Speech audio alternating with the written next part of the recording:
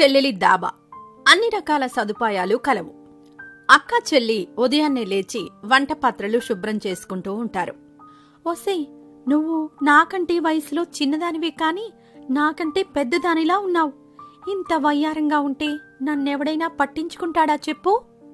అక్క నీకేం తక్కువక్క? డాబాకి వచ్చే సగం గిరాకీలను నీ చూపులతో పడగొట్టి బుట్టలోకి దింపి వాళ్ళ ఆకలిని వాడుకొని మనకి కావలసిన డబ్బులు లాగేస్తున్నావు. నువ్వే కదా అక్క ఈ దాబాకి అసలైన కారణం. నేనేదో నీకు ఉడతా సహాయంగా పడి ఉన్నాను అంతే. ఇలా చెప్తూనే మెల్లిగా ఎదిగిపోతున్నావు నువ్వు. నిన్న వచ్చిన ఆ కుర్రాన్ని ఎలా పడేశావో నేను చూశాలే. పాపం చూడ్డానికి అమాయకుల్లా కొత్తవాడిలాగా ఉన్నాడు. నువ్వు మాత్రం నీ రుచి చూపించావు కదా. ఇక వాడు ఆగుతాడా? వారానికి ఒకసారైనా వస్తూనే ఉంటాడు కదా. అని మాట్లాడుకుంటూ ఉండగానే ఒక వ్యక్తితో వచ్చి వాళ్ళ దగ్గర నించుని ఉంటాడు. అమ్మ దేవుడా నేను ఊహించిన దానికంటే వీడింకా తొందరగా ఉన్నాడే.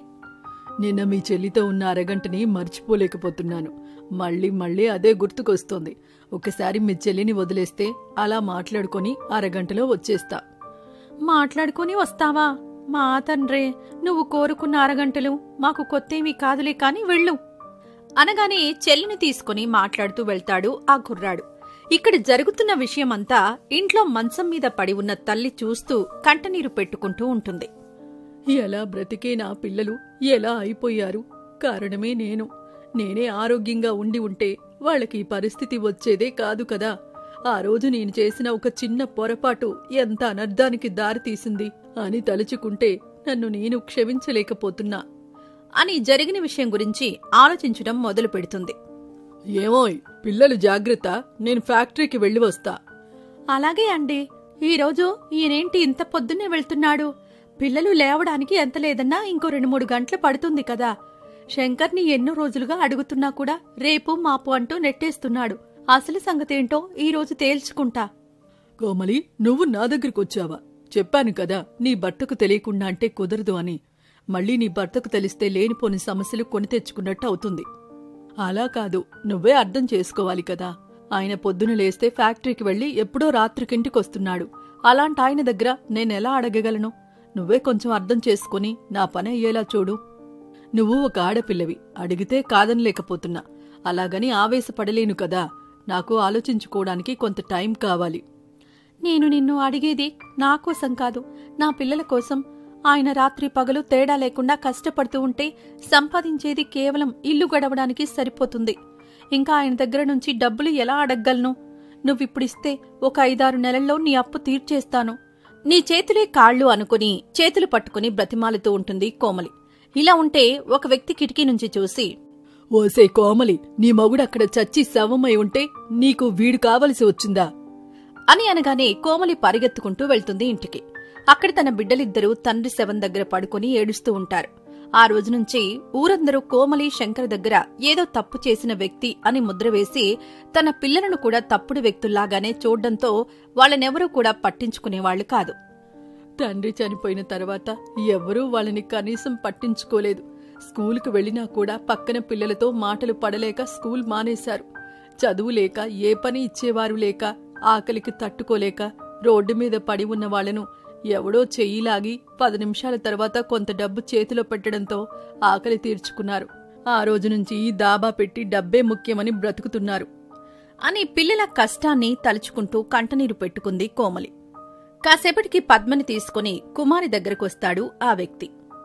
కుమారి నీ చెల్లి నా మనసుకు నచ్చింది. నీ చెల్లిని నేను ప్రేమిస్తున్నాను.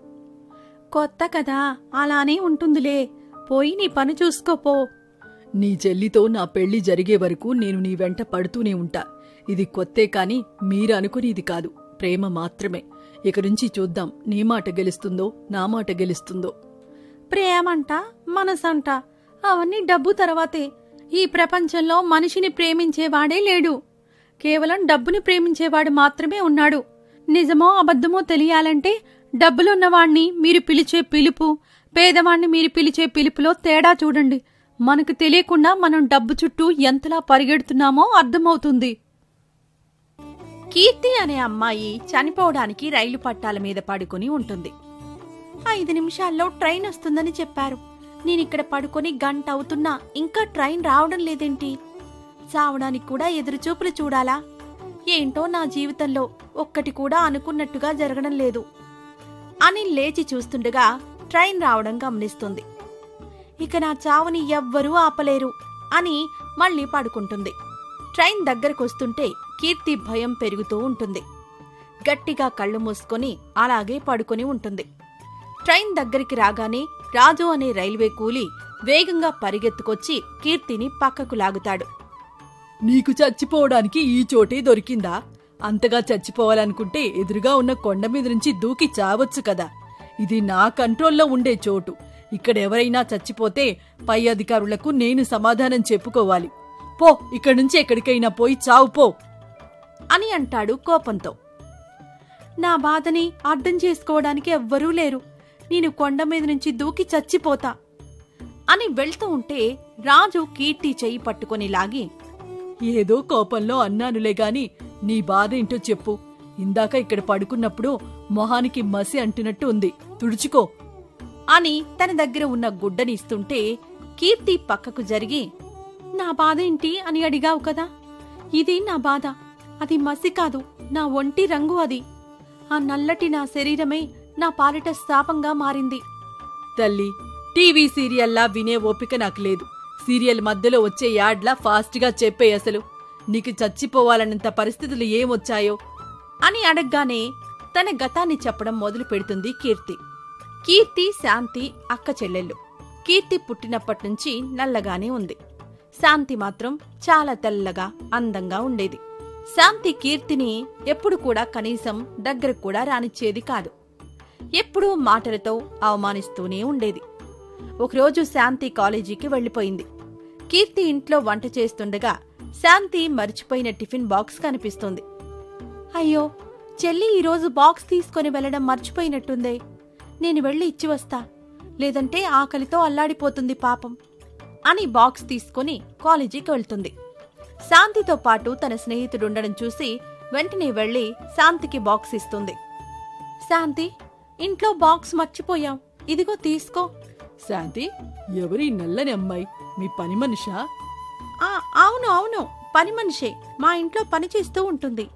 ఏయ్ రంగమ్మ నీకెన్నిసార్లు చెప్పాను? ఇలా కాలేజీ దాకా వచ్చి నా పరువు తీయొద్దని.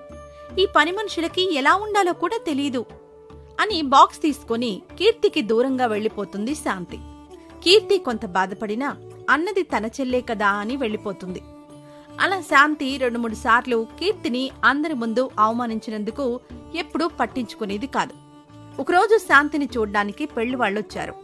శాంతి టీ తీసుకుని వెళ్ళి వాళ్ళకిస్తుంటే కీర్తి వెనకాలే వెళ్ళి నీళ్ళ బాటిల్ వాళ్ళ చేతికి అందిస్తుంది. చూడమ్మా పని మనిషివా నువ్వు? నీకు ఆ మాత్రం తెలీదా? టీ ఇస్తుంటే ఇలా అడ్డుపడతావు? వెళ్ళు వెళ్ళు ఏదో మూల తగలడు అని అంటాడు. అయ్యో బాబు తప్పు మాట్లాడారు మీరు. అది పని మనిషి కాదు. నా పెద్ద కూతురు కీర్తి. అయ్యో అవునా? క్షమించండి అంకుల్. నేను మీ అమ్మాయిని పెళ్ళి చేసుకోలేను. ఒకవేళ నా పిల్లలు కూడా తనలాగా పుడితే నేను తట్టుకోలేను. మీలా నల్లని పిల్లల్ని కూడా పెంచి అందరితో మాటలు పడవలసిన అవసరం నాకు లేదు. ఇలాంటి వాళ్ళని చూస్తేనే నాకు కొంత అసహ్యంగా ఉంటుంది. అని అనగానే కీర్తి తండ్రి వెళ్ళి పెళ్ళికొడుకు చొక్కా పట్టుకుంటాడు. ఏరా నా బిడ్డని అన్నేసి మాటలంటావా? నలుపు తెలుపు రంగుల్లో ఏంట్రా తేడా? నీలాంటి వాడికి నా కూతురినిచ్చి పెళ్ళి చేయడం నాకిష్టమే లేదు. పోరా ఇక్కడి నుంచి ఏంటి నాన్న? అతను తప్పేం మాట్లాడాడు? నా చిన్నప్పటి నుంచి నాకు దీంతో అదే సమస్య. ఎవరు నన్ను చూసినా నల్లపిల్ల చెల్లిరా ఇది అని అంటున్నారే తప్ప నాకు ఒక పేరున్నట్టు కూడా చాలా మందికి తెలీదు. ఇలాంటి అక్క ఉంటే ఇలాంటి అవమానాలు తప్పవు. అయినా ఇప్పుడు ఇతను ఏం తప్పు మాట్లాడాడో నాకు తెలియదు. నాకతను నచ్చాడు. ఈ నల్లని అక్క అతనికి నచ్చలేదంటే మంచిదే. మా అభిప్రాయాలు కూడా కలిసినట్టే. ఇక మీరు ఒప్పుకున్నా ఒప్పుకోకున్నా అతని పెళ్ళి చేసుకోవడానికి నేను సిద్ధంగానే ఉన్నాను. మీ నల్ల అక్క ఇంట్లో ఉంటే నేను ఇంట్లోకి రాను. నిన్ను పెళ్ళి చేసుకోను. అని అంటాడు.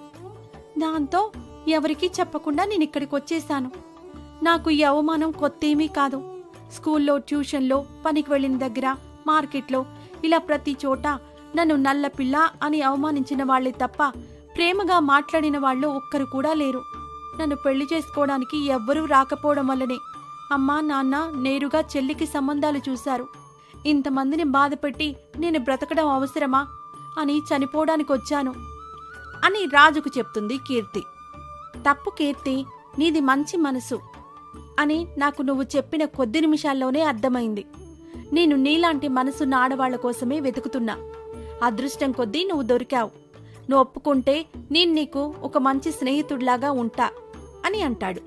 రాజు మాటల్లో నిజాయితీ అనిపించడంతో కీర్తి రైలు పట్టాల దగ్గరలోనే రాజు సహాయంతో ఒక చిన్న గదిని కట్టుకుని అందులోనే ఉంటూ చిన్న చిన్న పనులు చేసుకుంటూ బతుకుతూ ఉంటుంది.